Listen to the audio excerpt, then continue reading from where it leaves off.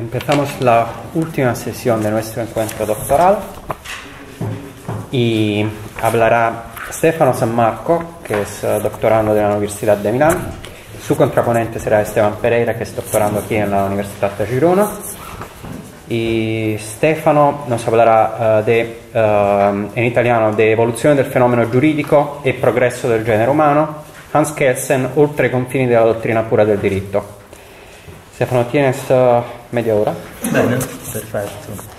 Eh, volevo innanzitutto ringraziare Francesco, il professor Papayanis per l'organizzazione, tutti quanti voi per uh, l'ospitalità e soprattutto Esteban che ha dovuto leggere tutta questa roba, eh, ma sono sicuro che farà dei commenti che mi saranno utili.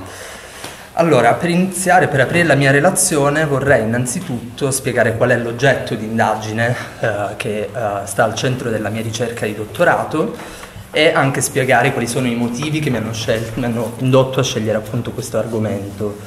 Allora, l'oggetto è eh, la teoria dell'evoluzione degli ordinamenti giuridici che Hans Kelsen ha proposto in alcune opere degli anni 40 del XX secolo.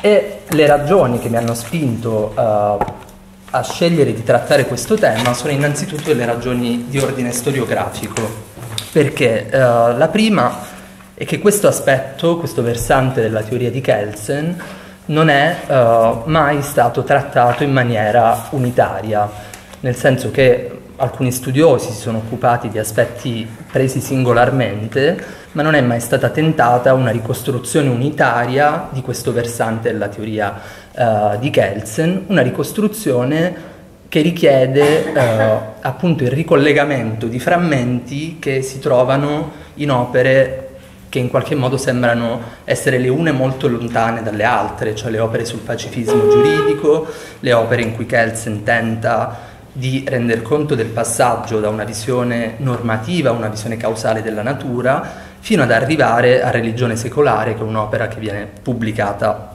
postuma, ma che era completata intorno agli anni, alla fine degli anni 60.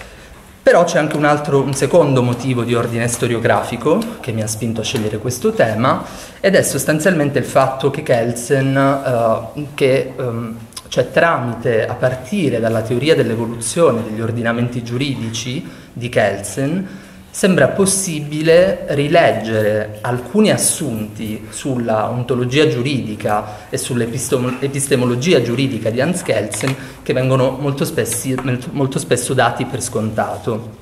Infatti, il Kelsen della teoria dell'evoluzione degli ordinamenti giuridici non è totalmente assimilabile al Kelsen fondatore e promotore della dottrina pura del diritto.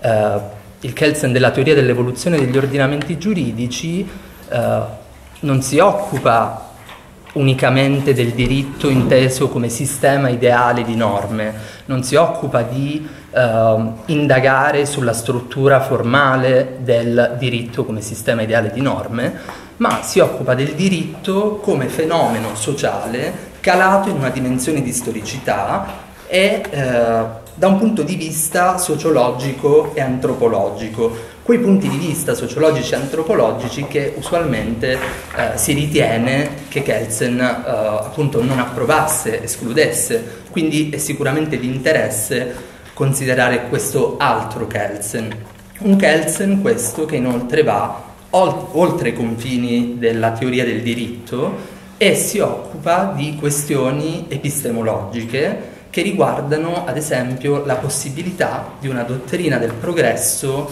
eh, scientifica e che sembra anche proporre, elaborare egli stesso una dottrina del progresso inteso, intesa questa però come filosofia della storia promozionale e uno degli obiettivi della mia ricerca è proprio mettere in evidenza questa filosofia della storia elaborata da Hans Kelsen che riguarda tanto il futuro del diritto internazionale quanto la pacificazione delle relazioni tra stati.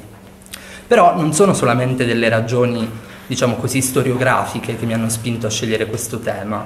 Eh, sebbene infatti la teoria di Kelsen su questi aspetti sia sotto alcuni profili lacunosa, se non anche semplicistica, Bisogna però eh, riconoscere che in essa vi sono delle intuizioni di valore ancora, diciamo, che ancora oggi si, si presentano come delle intuizioni importanti sia nell'ambito della, della scienza sociale in generale che nell'ambito della scienza giuridica in particolare. E proprio per mettere in evidenza diciamo, il valore di queste intuizioni, nell'ultimo capitolo della mia tesi io prendo in esame un filosofo e antropologo ancora vivente tedesco che si chiama Ernst Joachim Lampe, che propone una teoria genetica del diritto che per molti aspetti è affine a quella kelseniana e che però rappresenta anche un'importante integrazione della stessa rispetto a quegli aspetti che sono in qualche modo lacunosi. E sempre nel tentativo in qualche modo di andare oltre l'esegesi kelseniana, cioè un'opera che riguardi semplicemente il pensiero kelseniano, nel primo capitolo, come mh, fosse una sorta di stato dell'arte, io propongo delle riflessioni sul, mh, su questa idea dell'evoluzione del diritto tentando in particolar modo di eh, tracciare una differenza tra due diversi tipi di indagine che si occupano dell'evoluzione in relazione al fenomeno giuridico. Due tipi di ricerca che io ho deciso di denominare teorie dell'evoluzione del diritto e teorie dell'evoluzione nel diritto, che riguardano appunto una serie di questioni e di problematiche che sono diverse.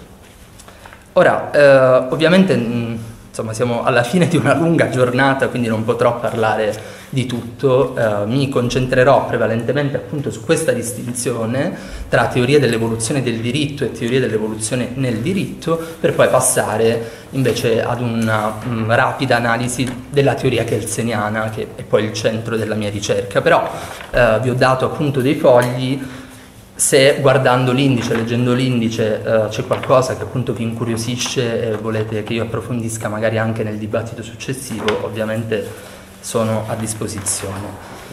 Allora, per quanto riguarda questa distinzione tra evoluzione del diritto ed evoluzione nel diritto, allora, uh, il primo filone di ricerca, cioè mi sembra che um, il primo filone di ricerca del quale fa parte secondo me appunto la teoria kelseniana, si occupa sostanzialmente di uh, andare a stabilire uh, perché, per quali ragioni nel contesto dell'evoluzione sociale e culturale del genere umano sia sorto il diritto come fenomeno sociale, cioè qual è la funzione del diritto. E soprattutto si occupa anche di altre questioni, come ad esempio quali sono le caratteristiche del diritto uh, alle origini della, appunto della sua comparsa, quando è comparso, e si occupa di stabilire anche uh, quali sono state le metamorfosi del diritto inteso come fenomeno in generale, quindi non stiamo parlando di un preciso diritto, di un singolo diritto, ma del fenomeno della giuridicità. Uh, quali sono state le metamorfosi del diritto? Perché Uh, è stato necessario che il diritto si evolvesse in questa maniera, quali condizioni sociali e culturali queste trasformazioni uh, sono uh, appunto state, per le quali sono state necessarie, che cosa è rimasto in un certo senso di invariato rispetto a queste trasformazioni, ma anche appunto si occupa di stabilire questo primo filone di ricerca se sia possibile individuare delle tappe costanti di evoluzione del, del fenomeno giuridico eh, tali per cui ogni ordinamento giuridico eh, in tutti i tempi e in tutti i luoghi eh, debba appunto passare per queste tappe specifiche. Un'altra linea di ricerca invece che si occupa della questione dell'evoluzione in rapporto al fenomeno giuridico è quella delle teorie dell'evoluzione nel diritto.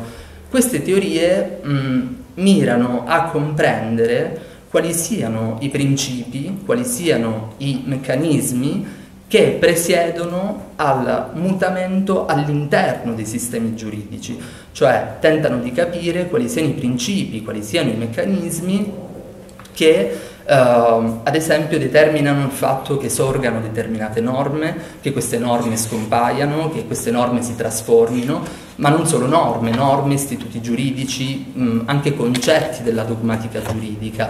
Quindi si tratta di, un, di un'analisi, uh, mentre la prima è un'analisi in un certo senso macroscopico che guarda al fenomeno della giuridicità uh, nel contesto dell'evoluzione del genere umano, La seconda ha un approccio in un certo senso più microscopico.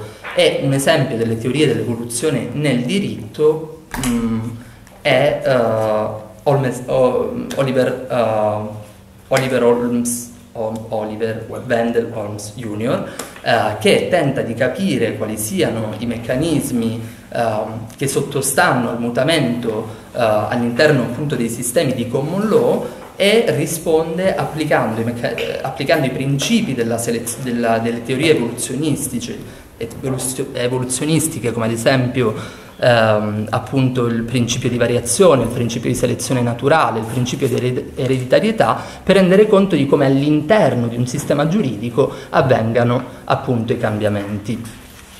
Ora, eh,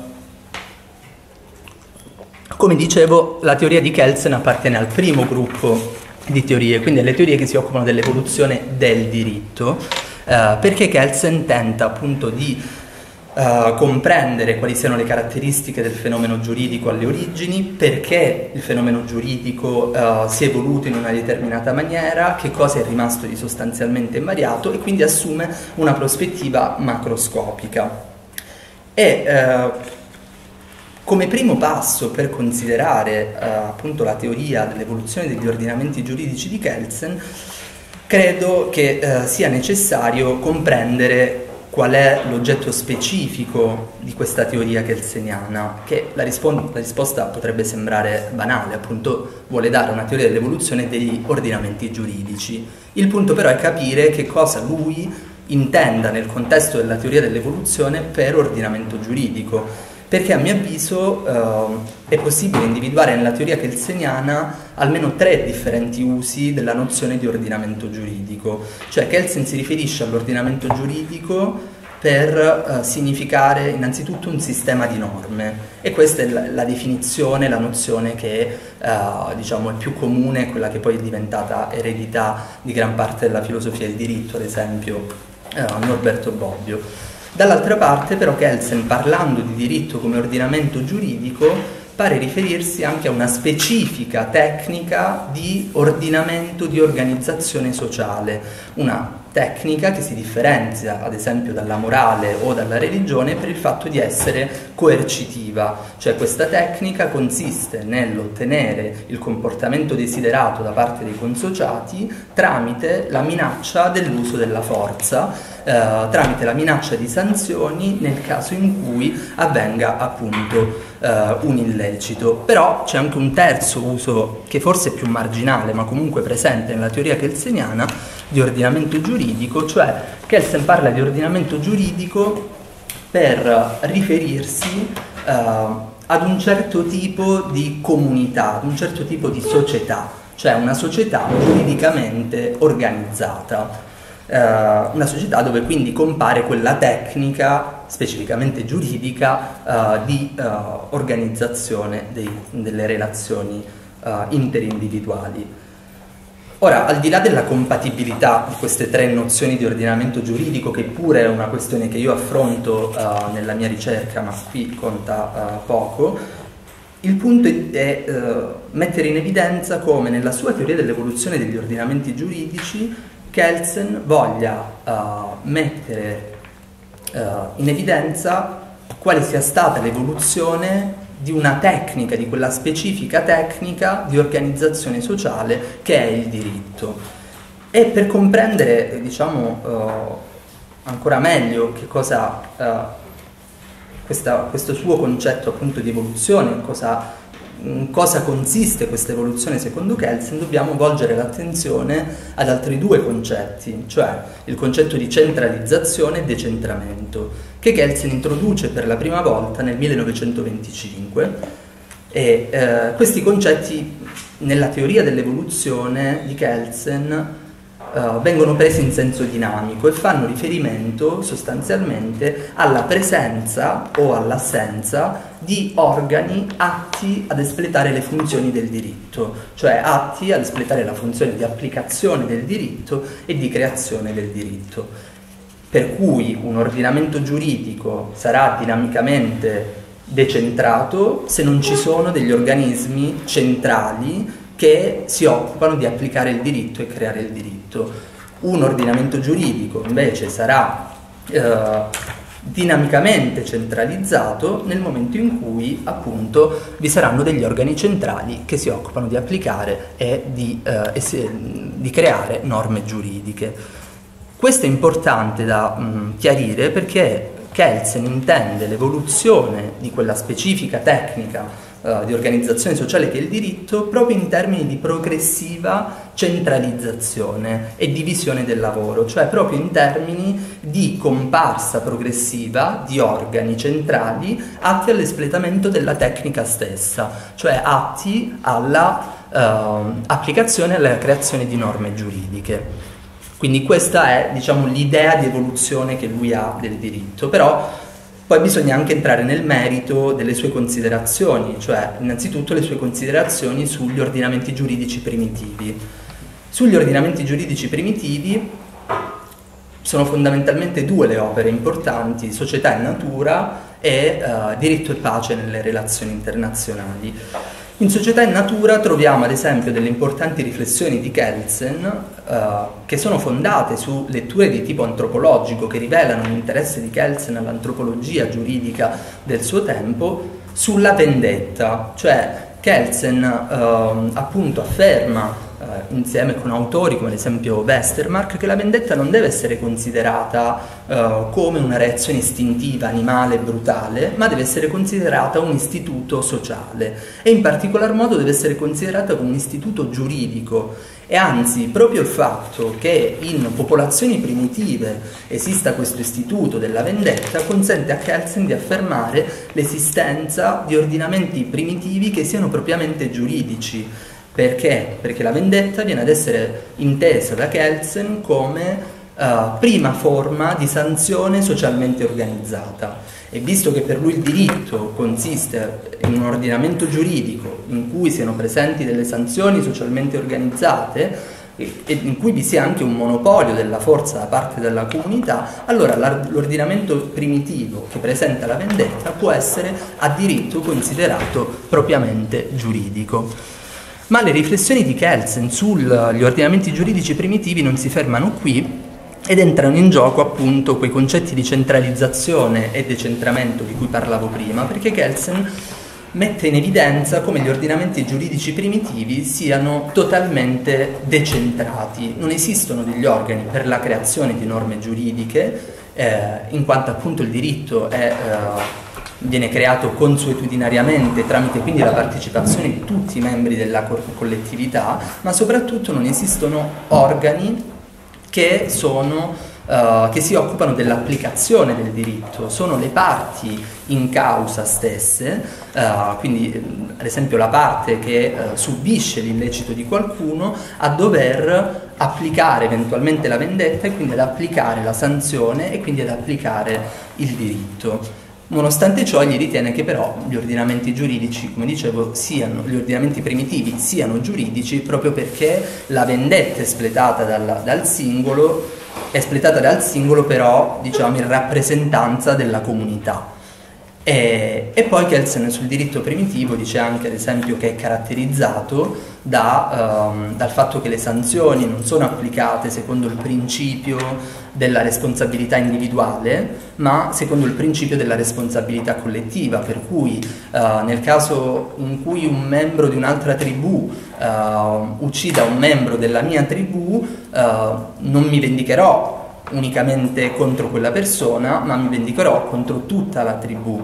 E allo stesso modo diciamo che uh, le sanzioni nel diritto primitivo non sono uh, applicate in base al principio della responsabilità uh, basata sulla colpa, ma sulla responsabilità oggettiva, per cui diciamo che non non fa testo l'intenzione di colui il quale ha commesso un determinato illecito, anche se l'ha fatto involontariamente, questo deve essere punito tramite la vendetta, tramite la sanzione. E, ehm, Vabbè, tutto questo discorso di Kelsen si innesta sul diritto primitivo, si innesta su un'analisi della mentalità primitiva, di una concezione della natura eh, intesa in, in senso socio-normativo, su cui adesso però non mi soffermo. E passo invece al secondo punto, cioè Uh, alla questione della, di come da questo diritto primitivo si passi al diritto statale, al diritto nazionale moderno, secondo Kelsen. Abbiamo già visto come questo passaggio sia, uh, questo processo sia un processo di centralizzazione, di comparsa progressiva di organi, uh, atti ad espletare le funzioni di applicazione e di uh, creazione del diritto e quello che ehm, secondo Kelsen è maggiormente ehm, appunto da sottolineare è il fatto che i primi organi a comparire all'interno di questo percorso di evoluzione sono gli organi eh, che si occupano dell'applicazione del diritto. Solo in un secondo tempo avviene la centralizzazione di organi che si occupano della creazione del diritto.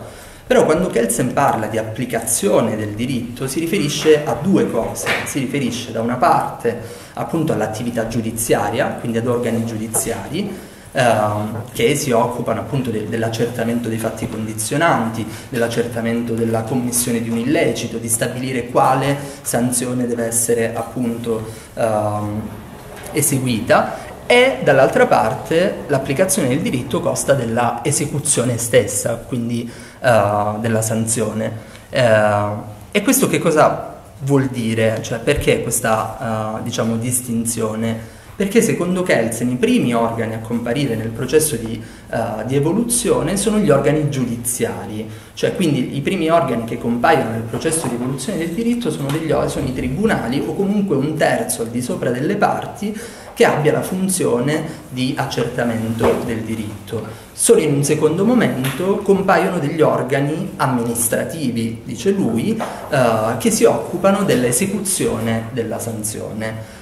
Nel momento in cui abbiamo la centralizzazione di questi due organi, organi giudiziari, organi esecutivi, per Kelsen nasce lo Stato, perché la funzione di creazione del diritto per, centralizzata non è per lui un elemento essenziale affinché si possa parlare appunto di Stato. Quello che è molto interessante osservare dal mio punto di vista è che Kelsen non si limita diciamo, ad un'indagine in un certo senso storica e a dire che il percorso che ha, che ha caratterizzato il passaggio dagli ordinamenti primitivi agli ordinamenti statali è di questo tipo. Kelsen arriva a generalizzare questo processo e a dire che tutti gli ordinamenti giuridici sono destinati a passare per queste tappe, centralizzazione del giudiziario, centralizzazione dell'esecutivo, eventualmente centralizzazione o entro certi limiti del legislativo.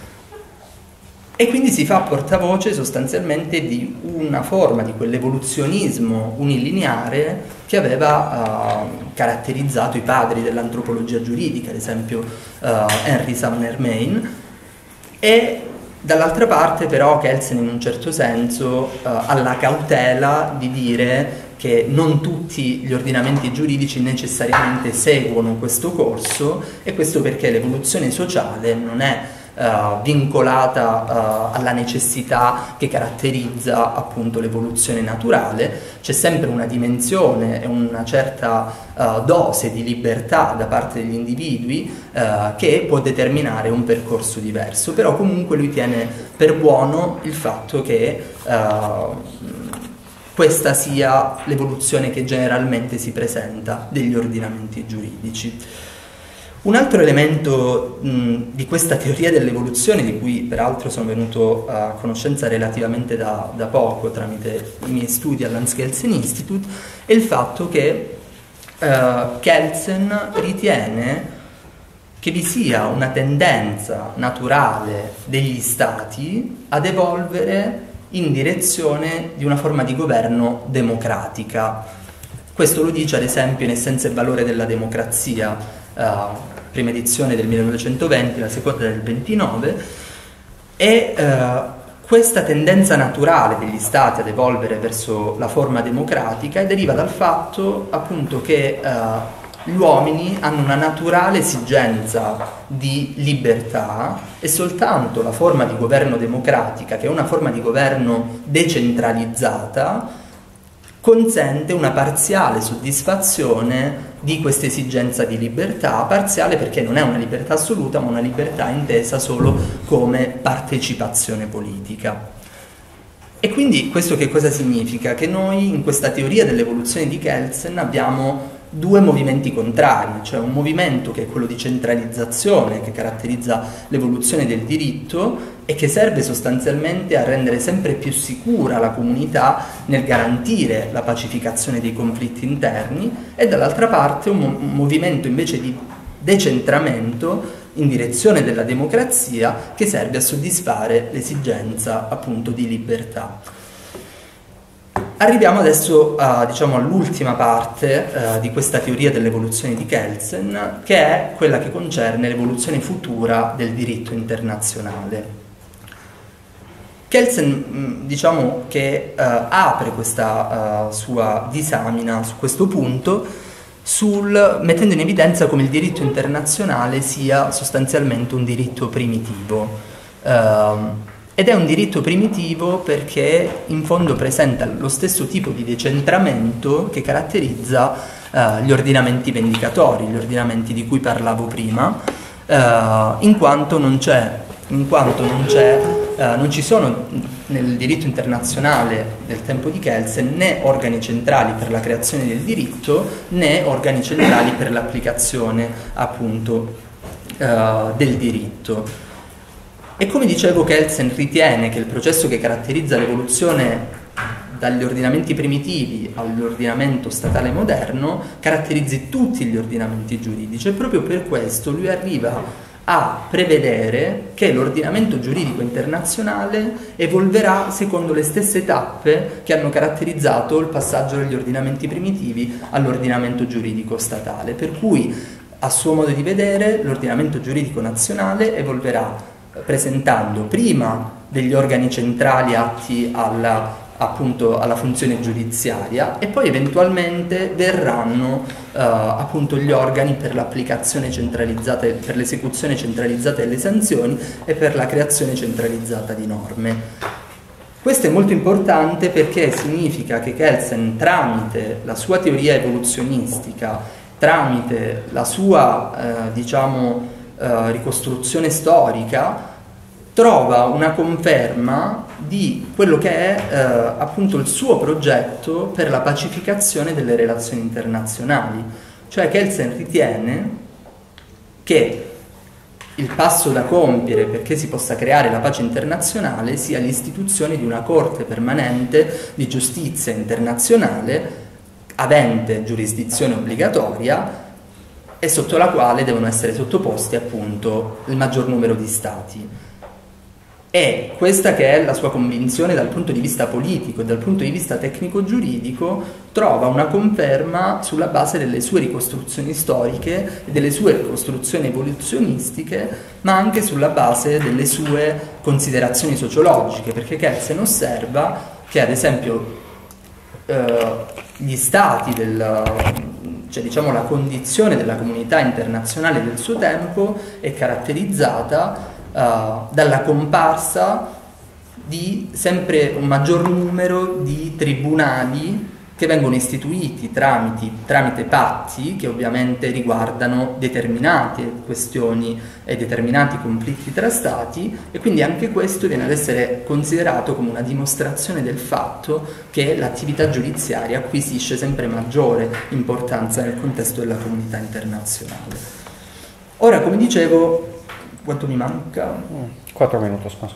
Sì, ce la faccio. Fingo. Grazie. E, come dicevo, io ritengo che queste congetture di Kelsen sul futuro del diritto internazionale possano essere intese come una sorta di dottrina del progresso. E per fare questo io uh, attingo uh, a quello che Kelsen sostiene in Religione secolare, che è un'opera pubblicata postuma, come dicevo, in cui Kelsen considera ehm, appunto un, la questione epistemologica della possibilità e del senso di una dottrina del progresso, confrontando le dottrine del progresso secolari con quelle che sono l'escatologia e la dottrina religiosa del progresso. Quello che caratterizza sostanzialmente la dottrina del progresso è il fatto di occuparsi delle vicende eh, umane, quindi delle vicende temporali umane, e non delle vicende, ad esempio, della destinazione dell'anima eh, nella vita ultraterrena, tentando di applicare però un metodo scientifico, quindi non appellandosi ad esempio alla volontà di Dio o a queste cose uh, metafisiche, cioè le dottrine del progresso si caratterizzano per il tentativo di prevedere il futuro temporale del genere umano tramite metodi scientifici, tramite il principio di causalità e le leggi dell'evoluzione. E questo è esattamente quello che propone Kelsen nel suo diritto e pace nelle relazioni internazionali, tenta di prevedere il futuro del diritto internazionale tramite appunto l'applicazione della legge di causalità e della legge di evoluzione. Però c'è anche da, da specificare sostanzialmente quale sia uh, il significato che Kelsen attribuisce alle dottrine del progresso, perché Kelsen esplicitamente afferma che le dottrine del progresso uh, e in generale il tentativo di prevedere il futuro del genere umano è destinato uh, a fallire in un certo senso, non si può avere certezza su questo punto, su quale sarà la destinazione del genere umano e prende come esempi anche Marx, Comte e via dicendo, sostenendo che anche questi autori erano convinti dell'impossibilità di prevedere con certezza scientificamente il futuro del genere umano. Allora viene da chiedersi perché elaborare una dottrina del progresso se non, questa teoreticamente non può, essere, uh, non può raggiungere nessun obiettivo. Il punto è che a mio modo di vedere Kelsen propone un ripensamento delle dottrine del progresso le quali non vengono più ad essere intese come aventi una funzione teoretica, ma come aventi una funzione pratica e in particolare una funzione promozionale. Cioè la dottrina del progresso eh, viene proposta per incentivare il genere umano in direzione di un cammino che in base a dei dati raccolti e in base a delle diciamo, uh, teorie pseudoscientifiche, ci sono, finito, ehm, si presenta come un cammino possibile e che è un cammino appunto auspicabile. Quindi la dottrina del progresso deve essere intesa sostanzialmente come filosofia della storia avente una funzione promozionale. E poi c'è tutto il resto eh, su cui adesso non posso soffermarmi. Grazie, molto grazie.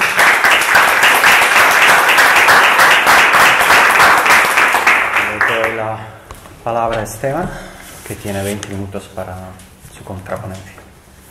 Bueno, muchas gracias Estefano, gracias Francesco y Diego por la organización del, de este segundo encuentro. Eh, voy a ver tres cuestiones, temas generales, temas formales y finalmente aspectos sustanciales. Uno y dos van a estar subdivididos ¿ya? en dos partes. Comencemos entonces por los generales.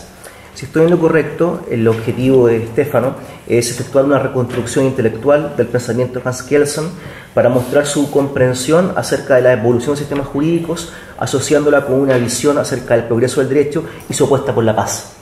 Vamos por contribuciones, que son muchas. Me parece que hay una pertinencia en el desarrollo del problema de la tesis, hay una consistencia importante entre el índice y la estructura de investigación, un análisis muy cuidado y exhaustivo de los autores tratados, una claridad expositiva y de redacción que también se replicó ahora en la presentación. También el plus de que se da cuenta de obras menos estudiadas en el trabajo de Kelsen, particularmente las que están entre el año 46 y 52, que son poco tratadas por la literatura. Se muestra un ejercicio de erudición muy grande, llevando al autor a Kelsen a preocupaciones distintas de las tradicionales, por ejemplo, filosofía de historia, antropología filosófica, filosofía moral y política y teoría de la evolución hay un significativo respaldo bibliográfico en discusiones y literatura especializada, pese a que en muchos casos se prescinde de cierta literatura canónica de la bibliografía amplia de Kelsen. Vamos con los aspectos formales. Noto algunos aciertos, como por ejemplo que hay una estructura muy bien organizada y desarrollada la línea de investigación, que hay una organización muy coherente de los contenidos y las transiciones entre las secciones son muy claras, unas respecto de otras. Hay una presentación del problema que es prácticamente cristalina y posiciones que se encuentran muy bien plantadas y desarrolladas de una forma también atractiva. Y la satisfacción de los objetivos que se plantea Estefano en una investigación son 100% realizados. O sea, se da, se da una respuesta a la pregunta tentativa que se está formulando. Mi sugerencia, simplemente en este aspecto formal, es que habría que hacer una especie de ampliación del abanico bibliográfico tanto a nivel de la obra de Kelsen, es decir, insertar la teoría pura, en este caso del derecho, como de comentaristas en la tradición kelseniana, ya sean de la corriente neocantiana, así como de los filósofos analíticos del derecho de corte anglosajón, que leen en este caso que leen en este caso a la filosofía kelseniana. ¿ya? Vamos con los aspectos sustanciales o sustantivos que son en este caso los relevantes. Hay una claridad respecto de la delimitación del problema de investigación. Estefano distingue correctamente entre la evolución del sistema jurídico y la evolución en el sistema jurídico, preocupándose en este caso de la primera y no así de la segunda. Sin embargo, hay un uso ambiguo y entrelazado entre la evolución del derecho y la evolución de un sistema jurídico. Por supuesto, se trata de cuestiones que pueden estar relacionadas, pero no hay de modo alguno una relación analítica entre ambas cuestiones. Esto perjudica, a mi juicio, la comprensión de cuál podría ser el propósito central del trabajo y además permite enfrentar una preocupación, la preocupación de Stefano, es decir, la evolución de los sistemas jurídicos, con recursos que dan cuenta de una cuestión distinta, es decir, la evolución del derecho o la evolución del fenómeno jurídico. Ello es particularmente cristalino, por ejemplo, en el tratamiento de la teoría genética del derecho de Lampe, en la cual la pregunta es directamente ¿por qué hay derecho? Sin aludir hasta el avance de la investigación de lo que lleva Estefano a las interrogantes acerca de por qué hay y cómo evolucionan los sistemas jurídicos, que era la pregunta que a él le interesaba. Lo mismo se refleja, en mi modo de ver las cosas, en la insistencia en sugerir un paralelo entre el ámbito biológico o natural y el mundo del derecho. Da la impresión que el paralelismo evolutivo que ahí se propicia permea todo el fenómeno jurídico y no solamente los sistemas jurídicos. Si hubiera un desarrollo evolutivo similar, de corte darwiniano, hay buenas razones para pensar que ello es replicado más bien en el derecho que en el sistema jurídico en particular, entendido este en términos de una técnica de control social que tiende a su centralización mediante órganos especializados que desempeñan las funciones de creación y aplicación. Sea como fuere, hay una cuestión pendiente que puede surgir. Si resulta tan relevante las funciones que desempeñan estos organismos, que desarrollan esta técnica de ordenación social, y lo que se discute es en verdad el derecho y no el sistema jurídico, pudiera ser que la lectura que promueve Estefano respecto de Kelsen está comprometida con entender el derecho de una forma funcional. En el esquema de Michael Moore respecto de conceptos funcionales, estructurales y nominales, acá habría una condescendencia respecto de una asimilación respecto del derecho entendido de una forma funcional, que habría que evidentemente discutir. Estefano propone tres excepciones del sistema jurídico en Kelsen. Sistema de normas jurídicas, técnica específica de orden social, regulación de conductas sociales mediante amenazas de sanciones y finalmente el tipo específico de técnica social de organización caracterizada por la participación de organismos que llevan a cabo la técnica, es decir, creación y aplicación. Esto recuerda en el primero al caso de Ras en el concepto de sistema jurídico, cuando él hablaba de sistemas jurídicos momentáneos y después de sistemas jurídicos propiamente tales. Esta última excepción, la tercera excepción, a mi juicio presenta una mayor dificultad para escindirla de la segunda. El matiz está, si no entiendo mal, en la presencia de los organismos que son los encargados de realizar la técnica social, en cuanto a la creación y aplicación de reglas. Pero quizá esta puede ser reducible a la segunda. Dos consideraciones al respecto. Por una parte, el modo de hacer algo, es decir, la técnica, necesita requiere necesariamente de organismos encargados para desempeñar esta técnica. Es decir, en este caso, el tercer sentido. Por otra parte, la fuerza del argumento que señala y que propicia Stefano en su texto descansa en los organismos de creación y aplicación, ya que ellos se encargan, la, encarnan la centralización conforme con la cual evoluciona el sistema jurídico. De ahí que, puede, que no puede pensarse que dos, la segunda excepción, se encuentra totalmente desligada de tres, la tercera excepción desde luego, la técnica, es decir, el modo de hacer algo, no se puede reducir a la primera versión, es decir, al sistema jurídico como sistema de normas. Pero no creo que es del todo evidente la distinción entre dos y tres, o al menos de la forma como está presentado no me lo parece. Por cierto, estimo que la investigación ganaría bastante si se pudiera problematizar críticamente la comprensión, funcionamiento y relevancia que tienen los organismos de creación y aplicación en el rendimiento de la tesis de Kelsen. Un camino posible de reflexión es analizarlo a la luz del entendimiento y rol que tienen los órganos primarios en el pensamiento de Joseph Ras. Bajo su óptica, en contextos institucionalizados son determinantes los órganos primarios, aun cuando no representan necesariamente las dimensiones de evolución, desarrollo y progreso que están presentes en Kelsen según la lectura de Stefano. Como sostiene Ras en Practical Reason and Norms del año 75, la presencia de un órgano primario es un rasgo definitorio de los sistemas institucionalizados. Se trata de instituciones aplicadoras de normas que, que, indican que el sistema normativo brinda de una manera institucionalizada y autoritativa formas de resolver las disputas que se formulen. Ahora bien, creo que hay que formular una precaución respecto a la de idea o el contraste entre centralización y descentralización. ¿Por qué? Porque el esquema está pensado, al parecer, en la función judicial que desempeñan estos órganos aplicadores de normas. Sin embargo, si uno se retrotrae a Teoría General del Estado del año 25 de Kelsen, al referirse a la función judicial, Kelsen afirma el desaparecimiento de la demarcación entre legislatio y leyes executio, desde la perspectiva de la teoría de las funciones del Estado. Ahí Kelsen muestra que la antítesis entre legislación como creación y jurisdicción como aplicación no es absoluta, sino que en realidad es relativa. Gracias a la distinción entre normas generales e individuales, tanto la legislación como la jurisdicción suponen al mismo tiempo actividades de creación y aplicación. En el caso del Tribunal de Justicia, el órgano que le interesa a Kelsen y le interesa a Stefano, hará las veces de aplicación del grado superior jerárquico, así como de creación en actos jurídicos de ejecución o deberes concretos por parte de los litigantes. Este organismo, al igual que el legislador, crea y aplica normas jurídicas según el ordenamiento jerárquicamente estructurado. Aquí hay, a mi juicio, una posible tensión respecto de una lectura tan ideal entre la centralización de Kelsen y su crítica a la descentralización en que los sujetos del sistema jurídico participan de las tareas de creación y aplicación del derecho y que representa algo así como un carácter no evolutivo del sistema jurídico. Tampoco es evidente, a mi juicio, la preferencia respecto del órgano judicial en desmedro del legislativo para consolidar centralizadamente el sistema jurídico. Ello se puede extraer, por ejemplo, de John Rawls en el artículo 55 del concepto de regla. Ahí Rawls muestra en qué sentido para constituir un sistema jurídico moderno se requiere de una demarcación entre competencias, la competencia institucional legislativa y la judicial, porque permite la distinción entre justificación de la práctica y justificación de la acción que recae entre la práctica. Sin los dos conjuntamente considerados, no hay en realidad un sistema jurídico maduro, un sistema jurídico moderno. Es decir, ambos ámbitos serían igualmente necesarios. No bastaría, como Kelsen lo está viendo, o como Estefano muestra a Kelsen, que sería necesario el órgano judicial. También creo que hay un problema respecto del evolucionismo jurídico lineal.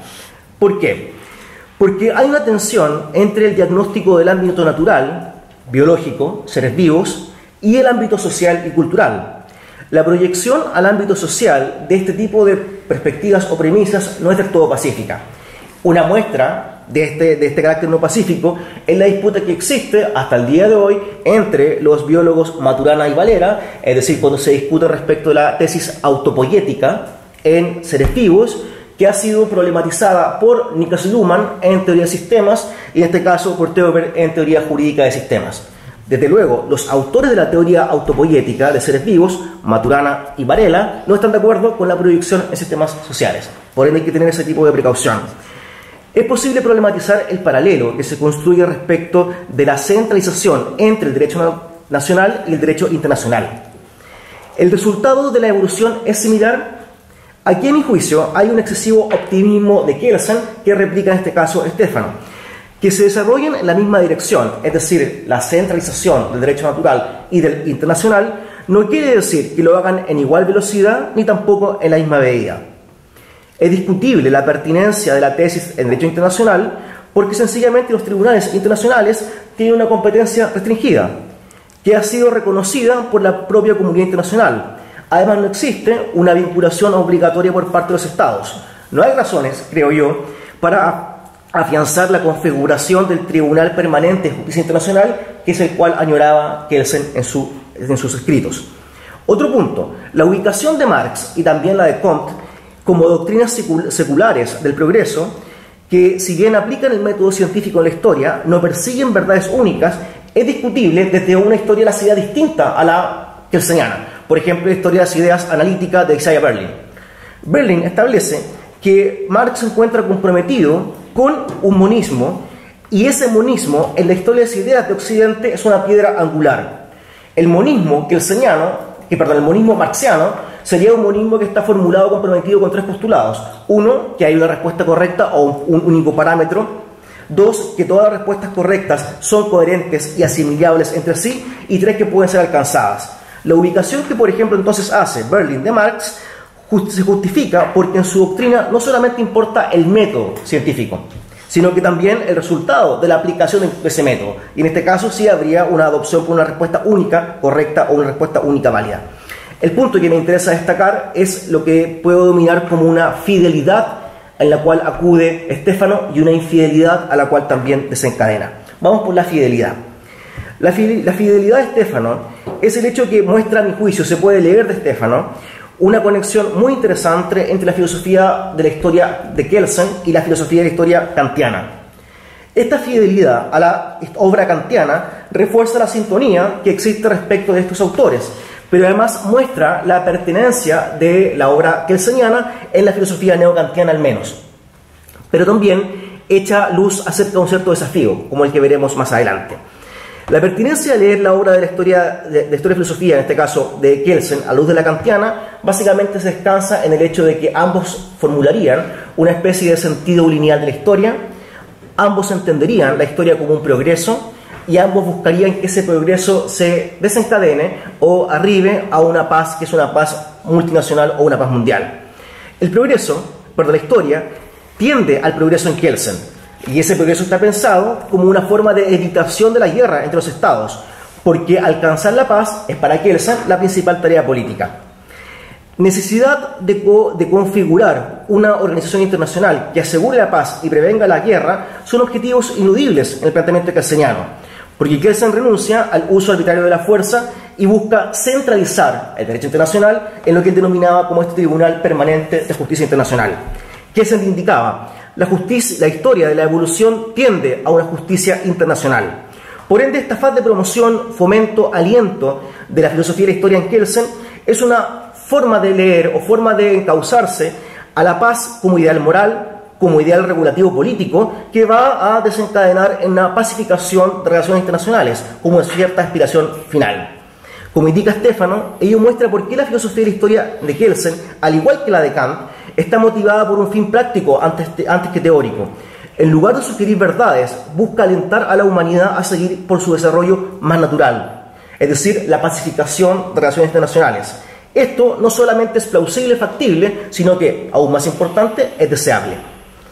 Ahora bien, si uno va a la obra, a la obra de, de Kant, en este caso, puede sugerir una cierta reconstrucción intelectual para buscar emparentar esta fidelidad que busca promover, en este caso, Stefano entre Kelsen y Kant en filosofía de la historia. Por ejemplo, el texto de 1784, Ideas, eh, en este caso, eh, para una historia universal en clave cosmopolita de Kelsen, en este caso de Kant, puede servir un buen indicador. ¿En qué sentido? Dice Kant, la historia, que se ocupa de la narración de los tales fenómenos, nos hace abrigar esperanzas que, por muy profundamente ocultas que se en sus causas, acaso puede descubrir al contemplar el juego de la libertad humana en bloque un curso regular de la misma, de tal modo que cuando se presenta como enmarañado e irregular entre los ojos de los sujetos individuales, pudiera ser interpretado a nivel de la especie como una evolución progresiva y continua, aunque lenta, de sus disposiciones originales. También lo plantea en el mismo texto del 84, que los hombres estarían en una suerte de plan globalmente concertado, de manera que al filósofo no le queda otro recurso, puesto que no puede presuponer los hombres y su actuación global ningún otro propósito racional propio, que intentar descubrir en este absurdo de curso de las cosas humanas una intención de la naturaleza a partir de la cual sea posible una historia de criaturas tales que, sin conducirse con arreglo a un plan propio, sí lo hagan conforme a un plan de la naturaleza Vamos a ver si logramos encontrar un hilo conductor para diseñar esta historia semejante, dejando en manos de la naturaleza el engendrar al hombre que habrá de contemplarla más tarde sobre esa misma base. Kant, en un artículo posterior, en este caso en el replanteamiento de la cuestión sobre el género humano, si se halla o no en continuo progreso hacia lo mejor del año 97, establece lo siguiente. Él plantea que es necesario construir una historia que no sea una historia del futuro, sino una, en realidad una historia del pasado una, perdón, una historia del futuro y no así del pasado, una historia de carácter profética. Lo que interesa, piensa Kant, no es la historia natural del ser humano, sino la historia moral, en relación con el conjunto de seres humanos reunidos socialmente y que son esparcidos por los pueblos en la tierra. Los hechos, bajo la óptica eh, kantiana se ven como signos históricos para construir una cierta historia profética hacia el porvenir. En el mismo texto del 97, Kant establecía efectivamente que el ser humano, pese a que puede tener retrocesos, va conducido y se orienta hacia lo mejor. Había, en este caso, progreso. En el 74 también estableció este plan directo o historia lineal en el cual se mueve el mundo. Pero también en el 74, en este caso, cuando es la respuesta a la pregunta ¿qué ilustración? Kant estableció precisamente que había un diagnóstico respecto de que su época no era una época ilustrada, sino una época de ilustración. Y por consiguiente, la etapa de moralización del individuo era una cuestión continua que estaba en este momento aún no preparado, pero que pronto iba a preparar.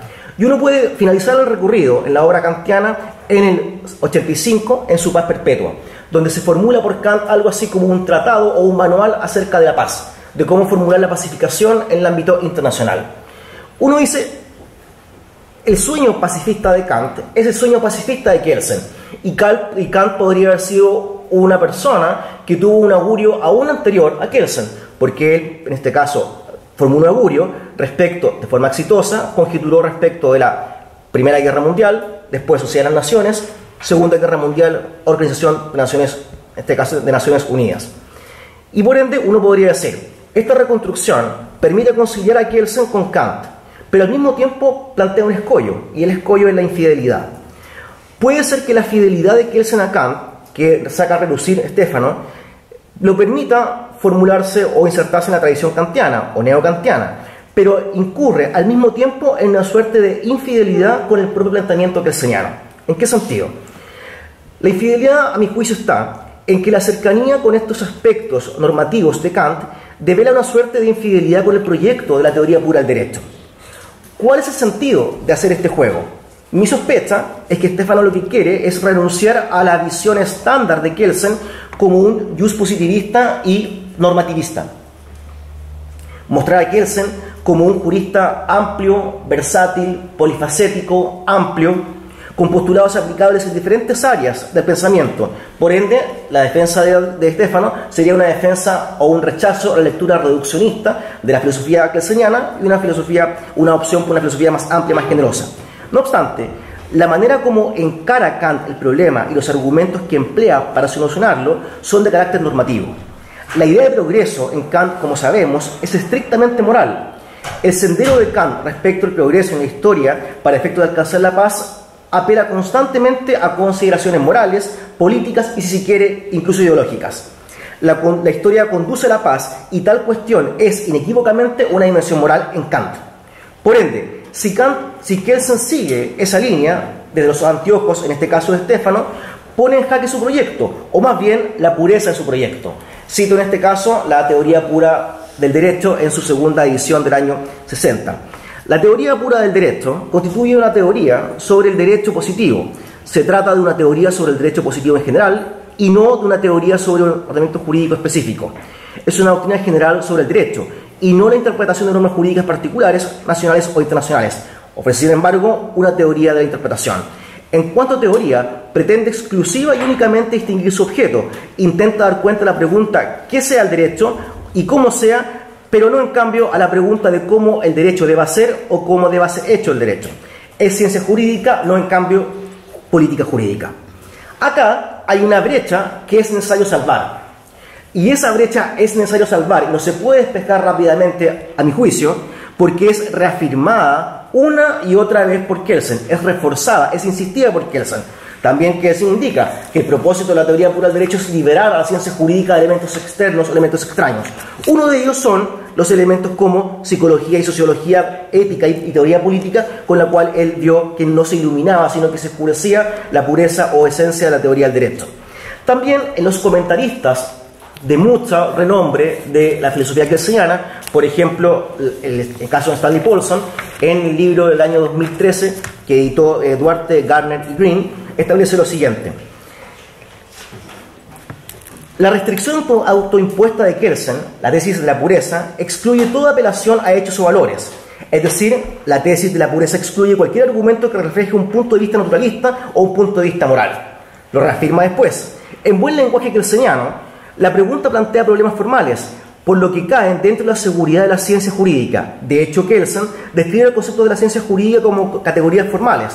Estas categorías formales son lo que queda después de que Kelsen haya eliminado diversos puntos de vista materiales, como por ejemplo teológicos, psicológicos, sociológicos, políticos, morales y religiosos. Su eliminación es, por supuesto, piensa Paulson, una tarea central de una teoría pura del derecho. Entonces, bajo estas coordenadas, la introducción de la lectura alternativa a la teoría pura del derecho que es formulada por Stefano es valiosa porque ensancha el espectro de consideraciones, pero toma el riesgo de desatender los compromisos que asumió Kelsen en el año 34 y que ratificó explícitamente en el año 60. ¿Cuáles son esos? El Kelsen canónico. El Kelsen canónico que formula un monismo jurídico que defiende una estructura lógica común de las normas jurídicas que está influido por los sistemas lógicos que alcanzaron a la filosofía en Viena en la primera parte del siglo XX, la formalización y purificación del derecho. ¿Por qué? Porque las funciones de promoción y aliento de la doctrina del progreso en Kelsen son en cambio cuestiones normativas. ¿Cuáles cuestiones normativas? De esa habilidad de la pacificación. El argumento es de carácter normativo porque es deseable que la filosofía y la historia kelseniana discurra por este camino evolutivo en aras del progreso de la humanidad, para en definitiva alcanzar la paz. Se trata entonces de una dimensión acerca de cómo el derecho debería ser, desafiando la restricción autoimpuesta por Kelsen. Y por ende, con esto termino, esta manera de leer a Kelsen, que con erudición y talento nos ofrece Stefano, está en una irremediable tensión con el proyecto de la pureza del estudio acerca de lo jurídico planteado por Kelsen. Felicitaciones, Estefano, y muchas gracias.